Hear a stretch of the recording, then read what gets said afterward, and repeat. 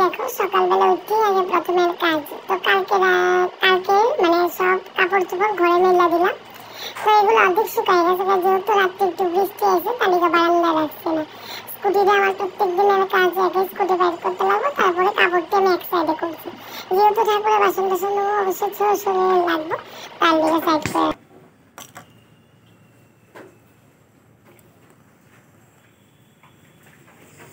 good morning friends welcome back to my channel আশা করি সবাই খুব ভালো আছে আমি খুব ভালো আছি। তো এই দেখো, এখানে আমি শাক পাতা ধুইছি, এটা কাটুন।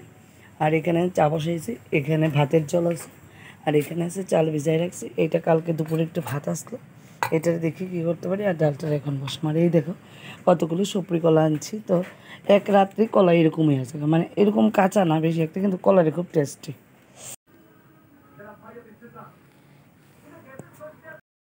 আর এখানে আছে এই দেখো টমেটোর ডাল করছে আর এখানে করছে ভাত আর এখানে আছে কালকের ভাজার টমেটো একটু ভাজালামও আর এখানে আছে কালকের একটু খিচুড়ি এই দেখো এই খিচুড়িটা আমি খেয়ে নেব আর এখানে আছে ভাজা কাটতে রাখছি এটা আমার দিকে করুন এই দেখো, কড়াইয়ের মধ্যে বসাই দিছি নিরামিষ সবজি, আর এখানে তো সব রান্না শেষ। বরের প্রিয় খাবার রান্না করছি, শাক, পাতা আর ডাল, নিরামিষ সবজি, আর হচ্ছে ডাল, আর কিছু না। এই দেখো, বর শুয়ে রয়েছে তো দেখতে।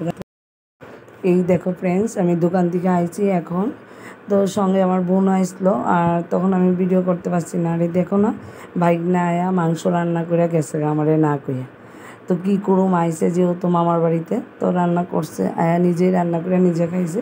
আর এখানে আছে ডাল। আর রাত্রেবেলা খাচ্ছি তো মা ঢেঁড়স দিয়ে গেছে, আমি দুইটা ঢেঁড়সের সিদ্ধ দিয়ে একটু ভাত খেলাম।